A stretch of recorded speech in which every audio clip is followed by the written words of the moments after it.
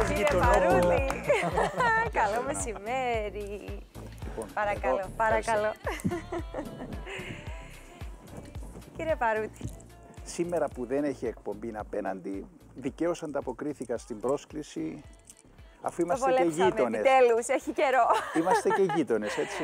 Εμείς βρισκόμαστε καθημερινά εδώ και Διότι ήταν αυτό... μοιραζόμαστε το ίδιο στούντιο. Βεβαίως. Είναι αυτό που έλεγα και πριν που ήρθατε και περιμένατε λίγη ώρα που νιώσαμε έτσι αυτό το, ξέρεις, ότι είναι κάποιος εδώ με πείρα ε, και νιώθα- νιώσαμε έτσι ένα δέος να το πούμε κύριε Παρούτη. Υπερβολικό.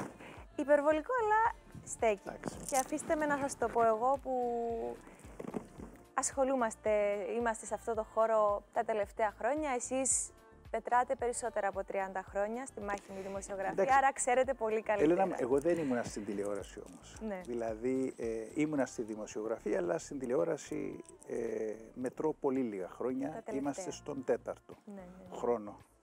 ναι. Και αν δεν ήταν ο Μακαρίτης ο Σοκράτης Χάσικος να με προκαλέσει να κάνω αυτό που κάνω τώρα, μπορεί και να μην το έκανα.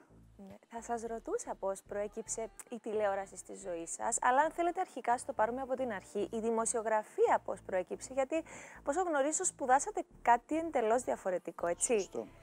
Σωστό.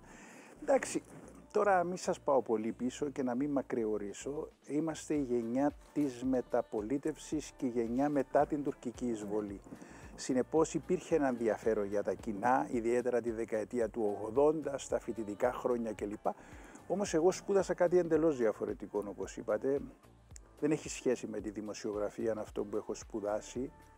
Έχω σπουδάσει γεωλογία στο Αριστοτέλειο Πανεπιστήμιο Θεσσαλονίκης. Εργάστηκα ένα χρόνο στην Κύπρο ε, σε τεχνικά θέματα εδαφομηχανικής και μετά με κέρδισε η δημοσιογραφία από το 1990, δούλεψα σε εφημερίδες, έκανα 20, 20 χρόνια περισσότερα, 25 χρόνια ραδιόφωνο και στο τρίτο πρόγραμμα του ΡΙΚ. Ε, δούλεψα σε εφημερίδες, αλλά ε, αν θέλετε η, η περίοδος που σφράγισε την δημοσιογραφική μου έτσι δουλειά ήταν ο πολίτης, όπου υπήρξα ένας εκ των δύο αρχισυντακτών σε καλές και συνάμα δύσκολες εποχές για τη δημοσιογραφία. Και τότε έκανα σκληρή δημοσιογραφία. Μου λένε ότι, ξέρετε, δεν είναι κουραστικό αυτό που κάνεις. Είναι κουραστικό, αλλά πιστεύω ότι η εφημερίδα είναι πολύ, πολύ πιο κουραστική και πολύ πιο έντονη. Ναι. Αλλά εντάξει, ε, προέκυψε αυτό το 2019.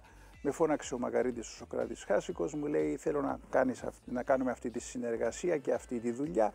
Ήμουνα διστακτικός, ξεκινήσαμε και συνεχίζουμε. Εντάξει, ε, είναι σημαντικό τελικά να ασχολείσαι με τα καθημερινά προβλήματα του κόσμου και κάποιοι με ρωτάνε δεν δυσκολεύεστε να βρείτε θέματα. Δυστυχώς είναι τόσα πολλά και τα προβλήματα και ως εκ τούτου και τα θέματα που Και προκύπτουν και καθημερινά, Προκύπτουν. γιατί Προκύπτουν. είναι και η μόνη εκπομπή που έχει και την δυνατότητα ο τηλεθεατής να παρεμβαίνει, να λέει είναι την λίγο άποψή του, δύσκολο να- αυτό.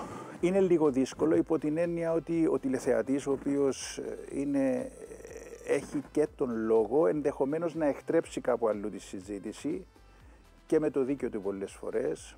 Εντάξει, προσπαθούμε.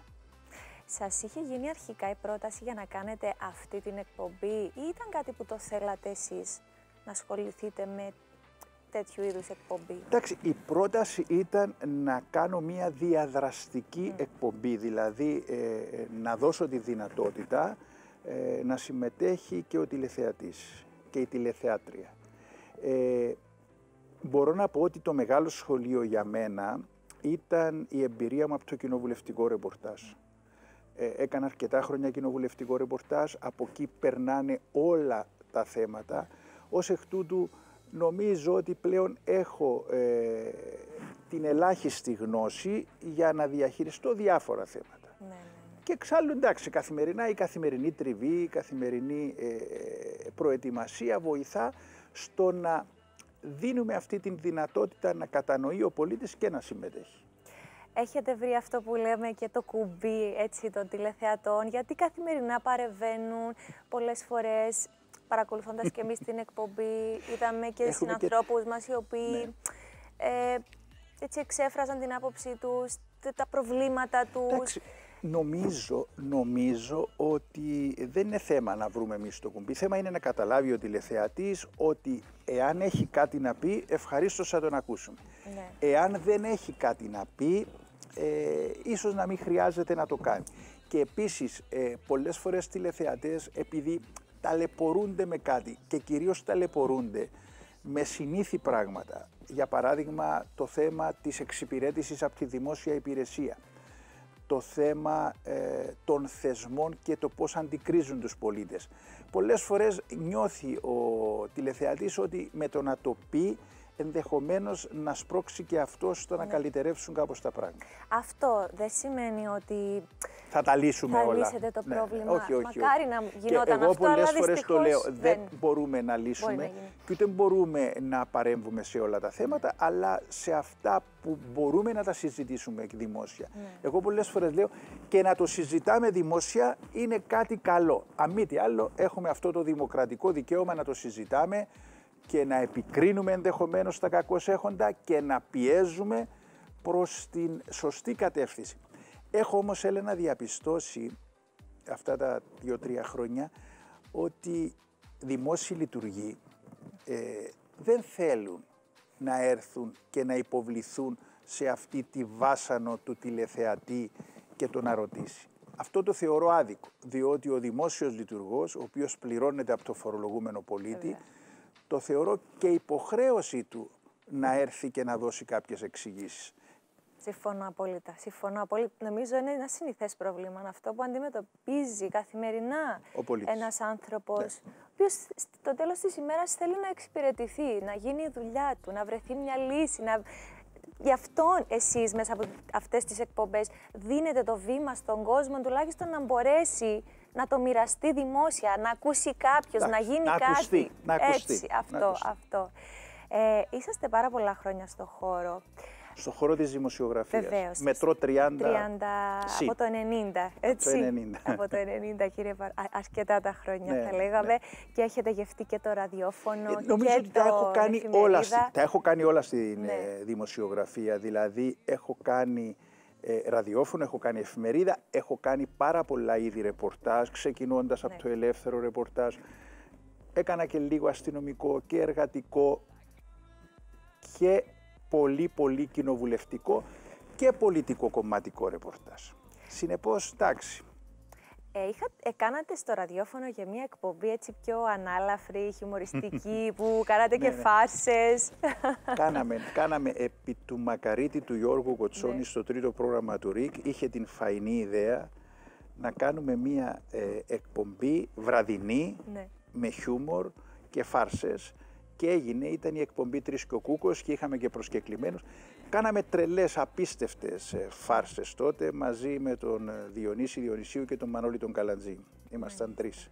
Εξού και το τρεις και ο Κούκος. ο Κούκος ήταν ο προσκεκλημένος. Ναι. ναι. Δύσκολες ναι, μ' αρέσει, μ αρέσει ε, το χιούμορ και δει το χιούμορ στην πολιτική το οποίο λείπει δυστυχώς. Mm. Βλέπουμε ότι ε, το να υπάρχει χιούμορ ε, ανεβάζει και τον πολιτικό πολιτισμό που λένε οι πολιτικοί πολλές φορές για να μας έτσι να...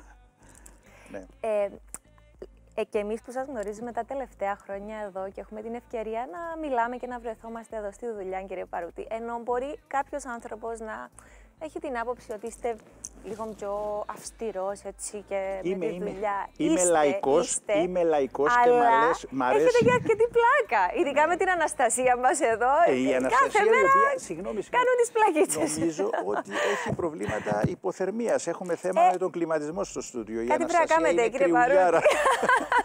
Γιατί τώρα που είναι αλλάξει ο καιρός να την έχουμε πάλι. ναι, έχουμε έτσι ένα θεματάκι εδώ με το κλιματιστικό κάθε φορά. ναι. Μάλιστα. Γενικά έτσι είσαστε, έχετε και χιούμορ, σας αρέσουν και οι πλάκες. Εντάξει, μ' αρέσει, ναι, μ' αρέσει. Και έχω κάνει και πολλές πλάκες και ναι. ακόμα και με προσκεκλημένους πολλές φορές ναι, στην ναι, εκπομπή. Ναι. Ε, τους παίρνω και τους λέω αύριο που θα έρθετε. Μου λέει, μα δεν είναι σήμερα που θα έρθουμε. ε, με τη δουλειά σας έχετε αυτή την αυστηρότητα, είπαμε. Τι, τι, πώς σας αρέ... πώς, τι είναι αυτό που ζητάτε από τους συνεργάτες σας, Ε, πώς είστε Ε, νομίζω, την ώρα; πρόσεχε, ε, Έλενα μου, νομίζω ότι ο επαγγελματισμός σε όλες τις δουλειές, Ναι. δηλαδή όταν κάνεις κάτι να το κάνεις σωστά. Εγώ νομίζω αυτό προσπαθώ να κάνω.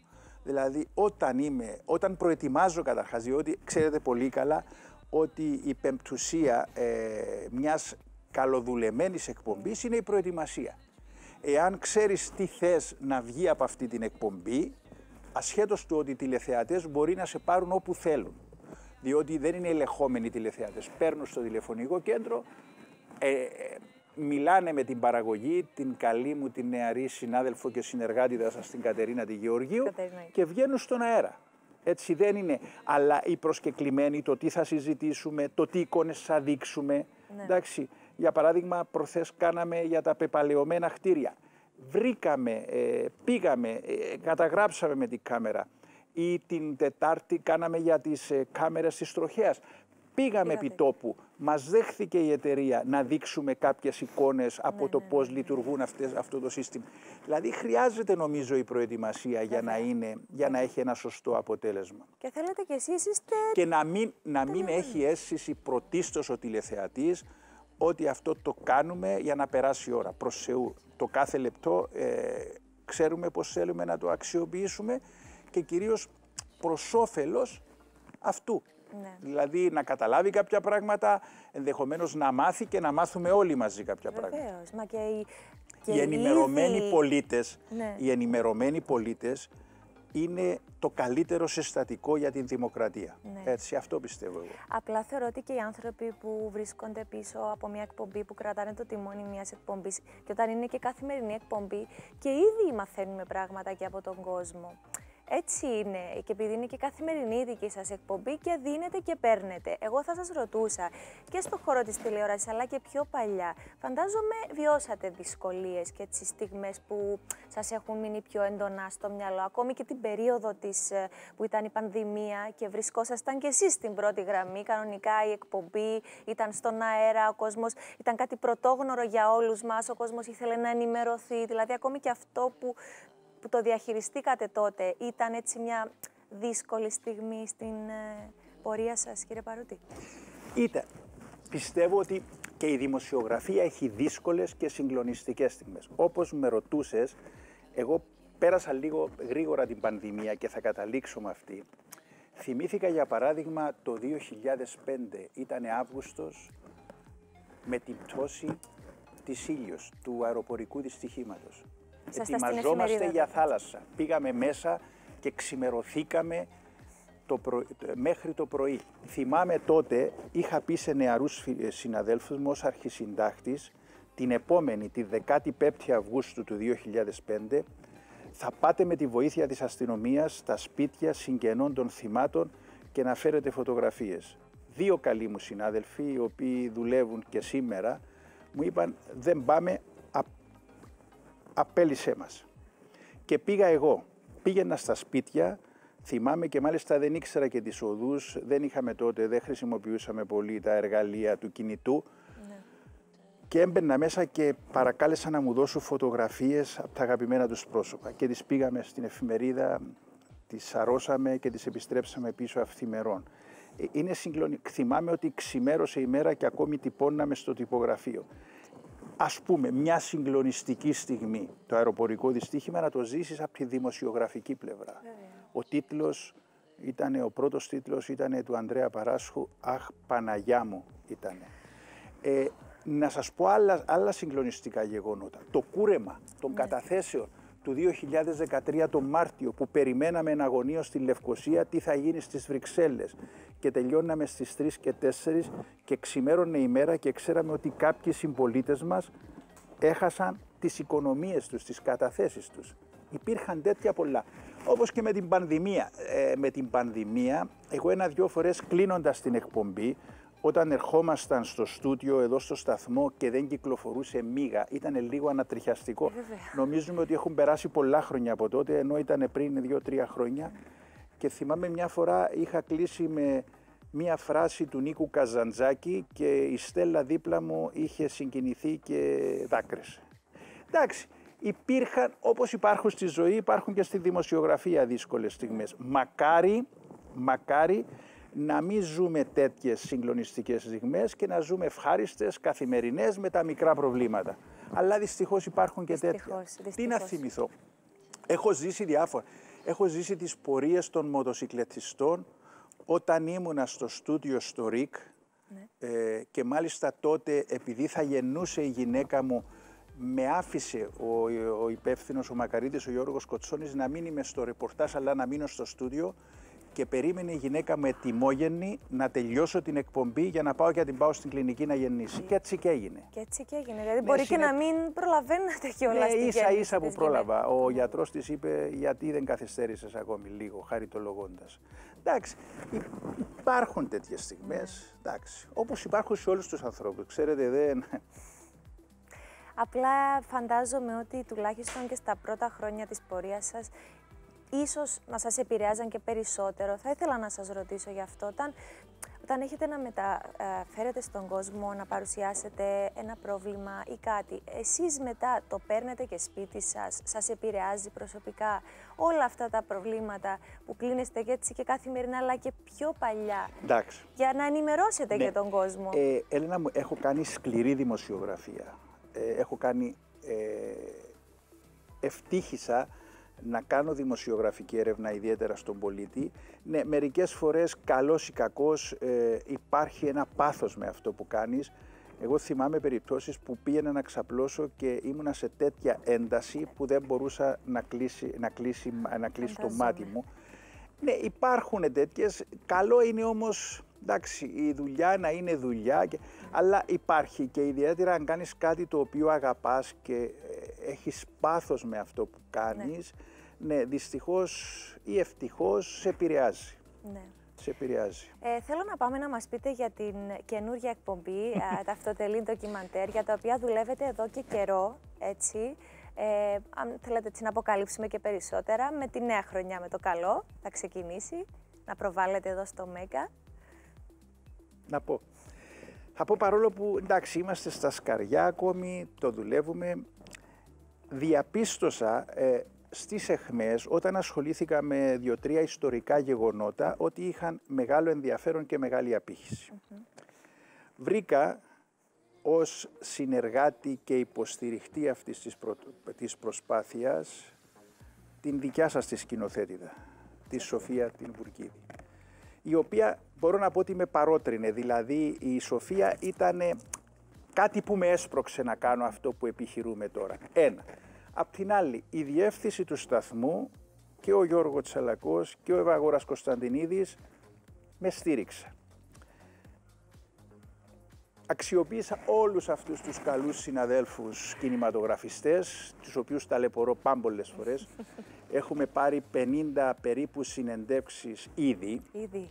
ήδη και δουλεύουμε σε κάποια ιστορικά γεγονότα. Ξέρετε, αυτός ο τόπος πέρασε πολύ δυσκολότερες εποχές από αυτές που περνάει σήμερα. Πραγματικά, δηλαδή, όταν σκεφτείς λίγο την ιστορία της δεκαετίας του 60, του 70, εσείς οι νεότεροι που δεν τα ζήσατε, δεν μπορείτε να φανταστείτε Ναι. τι πέρασε αυτός ο τόπος. Έχετε δίκιο. Πριν μερικές μέρες ήμουνα με δύο πολύ καλούς συναδέλφους, τον Παύλο Κυπριανού και τον Ανδρέα Θρασιβούλου στο Αρχηγείο Αστυνομίας, για να αναπαραστήσουμε μία στιγμή μερικών δευτερολέπτων Αναστάση. όταν, εάν είναι δυνατόν, η Εθνική Φρουρά παρέταξε τα άρματα μεσάνυχτα μπροστά από το Αρχηγείο Αστυνομίας για να χτυπήσει το Αρχηγείο εάν δεν αφοπλιζόντουσαν κάποια περίπολα της στρατιωτικής αστυνομίας από την Κυπριακή Αστυνομία στο κέντρο της Λευκοσίας. Ελάχιστοι το ξέρουν αυτό το πράγμα. Αν είναι δυνατόν, τα άρματα παρατάχθηκαν μπροστά από το Αρχηγείο Αστυνομίας, όχι το 1974, αλλά το 68 τον Οκτώβριο, με την απειλή να χτυπηθεί το Αρχηγείο. Ε, αυτά δεν τα γνωρίζει νομίζω ο, ο πολύς ο κόσμος ή περισσότερος σίγουρα κόσμος. κάποιοι τα γνωρίζουν, υπήρξαν μελετητές, γράφτηκαν βιβλία. Εμείς τώρα θα προσπαθήσουμε αξιοποιώντας όλη αυτή τη γνώση και την δουλειά καλών συναδέλφων δημοσιογράφων και ερευνητών με τη βοήθεια της τηλεόρασης να το δώσουμε συμπυκνωμένο σε έναν ντοκιμαντέρ. Και θα είναι ιστορικά γεγονότα που σημάδεψαν τον τόπο, που σφράγισαν την ιστορία αυτού του τόπου και οι μάρτυρες είναι ακόμη εν ζωή. Είμαστε λοιπόν σε ένα αγώνα δρόμου να καταγράψουμε τους μάρτυρες. Και νομίζω το πετυχαίνουμε. Ε, βοήθησε λίγο οι εχμές και Ναι. το γεγονός ότι με ξέρουν τώρα είναι πιο εύκολο Βέβαια. να τους ζω, να τους κουβεντιάσω κλπ. Σοφία Βουργίδη. Και Μπορούμε να πούμε και τον τίτλο, να δώσουμε ή να τα αφήσουμε έτσι για. Δεν έχω πρόβλημα. Στην ουσία είναι μία σειρά, θα προσπαθήσουμε Ναι, ναι, ναι. μία σειρά ντοκιμαντέρ να τα μεταδώσουμε από το Μέγα με τη νέα περίοδο. Μάλιστα έχουμε θέσει ένα ορόσημο μετά τις προεδρικές εκλογές. Ε, έχουμε βρει, και αυτό είναι το σημαντικό, έχουμε βρει πλάνα, έχουμε βρει εικόνες από εκείνα τα γεγονότα. Έτσι, με τη βοήθεια, θα το πω αυτό, του καλού μου φίλου, του σκηνοθέτη του Πανίκου Χρυσάνθου, έχουμε βρει πλάνα τα οποία δεν προέρχονται από την δημόσια ραδιοτηλεόραση, η οποία έχει και δεν τα έχει και αν τα έχει θέλει να προβάλλουμε με το δικό της ε, λογότυπο κλπ. Συνεπώς έχουμε το υλικό. Θα δείξουμε οπτικό υλικό, το οποίο δεν έχει προβληθεί ξανά στην Κύπρο. Από γεγονότα που σημάδεψα την ιστορία του τόπου. Το όνομα αυτής της νέας εκπομπής την έχουμε βαφτίσει, λέγεται De facto. De facto. Μάλιστα. Αναμένουμε λοιπόν, θα πούμε και περισσότερα στον κόσμο πριν από την προβολή. Θα ήθελα, κύριε Παρούτη, να μας πείτε Μ' αρέσει το για κύριε το Παρούτη. βραβείο. ε, είστε βραβευμένος δημοσιογράφος. Θέλουμε να μας πείτε λίγο για αυτή την εμπειρία, πώς προέκυψε, γιατί κάνατε κάτι, αλλά δεν περιμένατε ότι στο τέλος θα σας Το βραβεύσουν. αντάς- ναι. Και έχει, χρειαζόμαστε και λίγο χρόνο, νομίζω, για να το πούμε και αυτό, Δεν έτσι, χρειάζεται την πολύς ε, χρόνος. ιστορία είναι, αυτή. Είναι η τραγωδία αυτού του τόπου συμπυκνωμένη νομίζω. Έχω πει Έλενα μου κι άλλες φορές ότι ορίζω τον εαυτό μου, το είχαμε πει και σε μια άλλη δουλειά που κάναμε για τις εχμές, ως η γενιά της εισβολής. Έτσι. Είμαστε αυτοί οι οποίοι ζήσαμε σε μια τρυφερή ηλικία τα φοβερά γεγονότα του 1974. Αυτό που έγραψα, δεν το έγραψα για να βραβευτώ, το λέω, έγραψα ότι δεν ως προσωπική εμπειρία για να καταδείξω το πώς περιπλέκεται το κυπριακό και ιδιαίτερα το περιουσιακό με την πάροδο του χρόνου. Με πήρε ένας φίλος μου τουρκοκύπριος, μου είπε ρε πουλιέται το σπίτι σου, το σπίτι του- τον πατρικό μου, το οποίο μου μεταβίβασαν θεωρητικά οι γονείς μου στη Γιαλούσα. Και εντάξει, διερεύνησα και είχα δει την μπλοκή που υπάρχει και την πιθανότητα που ελαχιστοποιείται, ακόμη και αν λυθεί το Κυπριακό, να ξαναπάρω πίσω αυτό το σπίτι που μου ανήκει. Διότι το πούλησε ο Τουρκοκύπριος, τον οποίον διατέθηκε από το κατοχικό καθεστώς, σε έναν Άγγλο. Ο Άγγλος έκανε μια επένδυση μέσα, το αναβάθμισε κλπ. Και στη συνέχεια έγινε η τρίτη πώληση, καλή την πίστη. Ο τίτλος αυτού του ρεπορτάζ που έτυχε ναι, να βραβευτεί από τον διαγωνισμό του Κυπριακού Πρακτορείου Ειδήσεων ε, ήταν το σπίτι μου στην πούληση. Και μέσα από την ιστορία καταδείκνυε την πολυπλοκότητα του περιουσιακού και πώς πλέον αυτό το σπίτι που είναι δικό μου δεν πρόκειται να ξαναγίνει δικό μου γιατί υπάρχει αυτή η πλοκή, η νομική, η πολιτική κλπ. Αυτό. Μάλιστα. Ε, θέλω εντωμεταξύ να κάνω ένα σχόλιο. Κρατάτε συνεχώς το κομπολόι σας. Είμαι άρρωστος. Συνεχώ, στην εκπομπή το έχετε μαζί Το σας. έχω πάνω στο τραπέζι από την πρώτη μέρα Απ' της τη- εκπομπής ήταν, δεν το αγγίζω στην Ναι, ναι, ναι, εκπομπή. το ξέρω, Τώρα αλλά όμως είναι δι- εκεί, Τώρα είναι είμαι εκεί. φιλοξενούμενος, δικαιούμαι να το κρατάω. Συνέχεια το έχετε. Υπάρχει λόγος. Ναι, ναι. Όχι, όχι, όχι. Μπορώ να σου πω από τα μαθητικά χρόνια ε, κρατούσα ναι, ε, μικρά, στη συνέχεια το μεγέθυνα λίγο. Μ' αρέσει, είμαι λάτρης του γκαζέτ αυτού του είδους. Έχω μια πολύ καλή συλλογή και μπορεί να... Ναι, Μάλιστα. με ωραία υλικά, εντάξει. Αυτό είναι το αγαπημένο μου. Πολύ ωραία. Ήθελα το να σας κρατάω. ρωτήσω, το, το Ναι, είχα ναι. απορία. Γενικότερα, κύριε Παρούτη, έτσι και πριν να αποχαιρετήσουμε και τον κόσμο, σας αρέσει και έχετε και άλλα ενδιαφέροντα. Έτσι, κάθε Σαββατοκύριακο πάτε, πάτε στην Πάφο, εκεί στην Ασγάτα, κάνετε Είμαι, πράγματα. είμαι γεωργός, απλώς δουλεύω κάποιες ώρες δημοσιογράφος. Κάποιες ώρες, αλλά κατά τα άλλα είμαι Εντάξει, Γιώργο. μ' αρέσει η γη, μ' Ναι. αρέσει η φύση, μ' αρέσει το χωριό. Αυτά δεν είναι Ναι, ναι, κάτι. ναι, ναι, πολλοί, πολλοί από εμάς. Ναι, εμένα μ' αρέσει πολύ. Αλλά Δηλαδή, πάτε κάθε εβδομάδα. Ναι, ναι, έτσι, είμαι φανατικός, στην Πάφο. ναι. Οικογενειακός με τη γυναίκα κάποτε σας οικογενειακός, τώρα τελευταία πάω και μοναχικά μόνος μου. Και μοναχικά. Ναι. Εντάξει, Όπως πολλές φορές ναι. πάω στα κατεχόμενα μόνος μου και κάνω τη σκέψη στο δρόμο ότι τελικά η επιστροφή είναι μοναχική υπόθεση. Ω, Ναι. Εντάξει, είναι Εντάξει. Ε, τώρα, εντάξει. αυτό που είπατε. Ναι. ναι. Τίνα, πραγματικά ε, απόλαυσα την κουβέντα μαζί σας κύριε Παρούτη. Είπαμε αρκετά πράγματα. Ε, σας ευχαριστώ πάρα πολύ. εγώ έτσι, τα βρή... Ευτυχώς σήμερα ευχαριστώ... βόλεψε γιατί δεν έχετε εκπομπή μετά εσείς, έτσι. Γειτόνισα. Έλενα μου, να είσαι καλά, σε ευχαριστώ Να είστε πάντα καλά. Να τα λέμε. Άμα θέλετε για την, την οικογένειά την, σας. Ναι, για την de facto μπορούμε να πούμε κάποια στιγμή κάποια πράγματα όταν πλησιάσουμε και όταν έχουμε πλέον συγκεκριμένη έτσι δουλειά να δείξουμε. Αυτό είναι το μόνο σίγουρο. Σας ευχαριστώ πάρα πολύ. Και εγώ ευχαριστώ πολύ.